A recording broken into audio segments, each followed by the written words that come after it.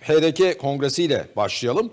HDP eş genel başkanı Mithat Sancar öncelikli hedef iktidarın yarattığı rejimi durdurmak ifadesini kullandı ve toplumsal mücadeleyi örmek gerektiğine dikkat çekti. Sancar kazanacağız çünkü kazanmazsak kaybedecek çok şeyimiz var ifadelerini kullandı. Mithat Sancar iktidarın partisi HDP'ye ve demokrasi güçlerine uyguladığı baskıyı hatırlattı. Sancar Baskı pervasızca devrede ama halk direnmekten vazgeçmiyor ifadelerini kullandı.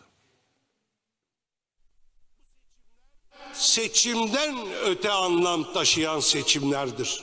Bir rejim inşası sürüyor. Otoriter rejimi kalıcı hale getirmek için mevcut iktidar bloku bütün imkanları kullanıyor. Öncelikli hedefimiz bu rejimin inşa sürecini durdurmak olmalıdır. Bu iktidara kaybettirmek gibi hayati stratejik bir hedefimiz var.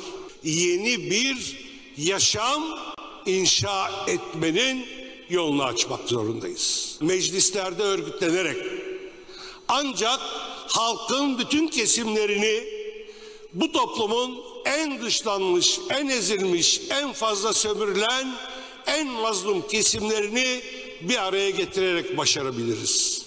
Yeni yaşamı inşa etmenin yolunu açmak demektir.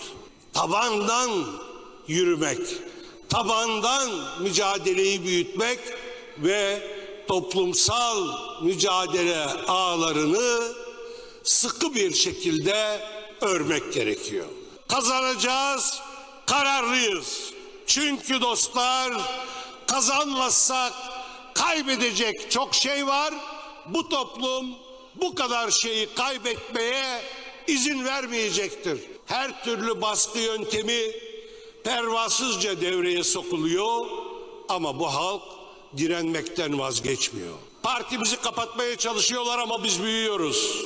Hazine yardımı anayasal hakkımız onu yatıracakları hesaba bir siyasi operasyonla Anayasa Mahkemesi'ni alet ederek bloke koyuyorlar. Fakat halkımız ceketini bile bağışlamaya, elindeki bir kilo çayı, yarım kilo şekeri getirip bizlere, partisine vermeye hazır. Halka borçluyuz.